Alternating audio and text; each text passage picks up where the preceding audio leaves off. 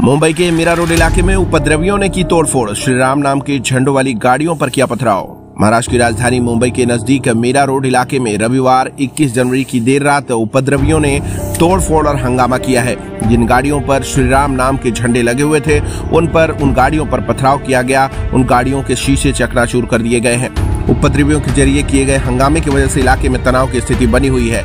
कहा जा रहा है कि उपद्रवियों ने तोड़फोड़ करते हुए रास्ते पर अल्लाह अकबर के नारे लगाए गए हैं।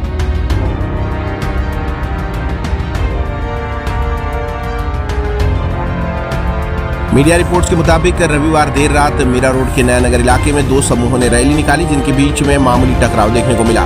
मीरा भाईंदर व सेविरार पुलिस ने सफलतापूर्वक इस विवाद को सुलझाया है। इस विवाद की वजह से हालात इसलिए भी तनावपूर्ण हो गए क्योंकि सोमवार 22 जनवरी को, यानी सोमवार को आज अयोध्या में राम मंदिर प्राण प्रतिष्ठा हो रही है। कहा गया है कि इस दौरान जमकर नारेबाजी भी की गई है। फ़िलहाल पुलिस ने लोगों से अफवाहों पर यकीन नहीं करने की सलाह दी है।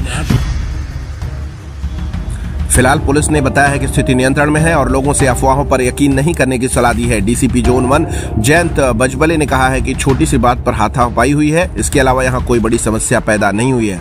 उन्होंने लोगों से अफवाहों पर ध्यान न देने की गुजारिश की है और जनता को आश्वस्त किया है कि घटना के संबंध में कोई सांप्रदायिक हिंसा की सूचना नहीं मिली है। मामले की गंभीरता को देखते हुए किसी भी तरह के विवाद को रोकने के लिए पुलिस बल को तैनात किया गया है। ये तैनाती अफवाहों को ध्यान में रखकर की गई है। पुलिस ने इस मामले में जाँच की और आदेश दिए हैं। जाँच के आधार पर ही आगे एक्शन लिए जाएँगे। अयोध्या में राम मंदिर उद्घाटन के दौरान यहाँ होने वाले उद्घाटन के दौरान यहाँ होने वाले कार्यक्रमों का शांतिपूर्ण आयोजन सुनिश्चित करने के लिए अधिकारी सतर्क है। जगह जगह पर पुलिस निगरानी कर रही है। आपको बता दें कि अयोध्या में प्राण प्रतिष्ठा कार्यक्रम की तैयारियाँ पूरी हो चुकी हैं और आज प्राण प्रतिष्ठा के बाद मंदिर राम भक्तों के लिए खुल जाएगा।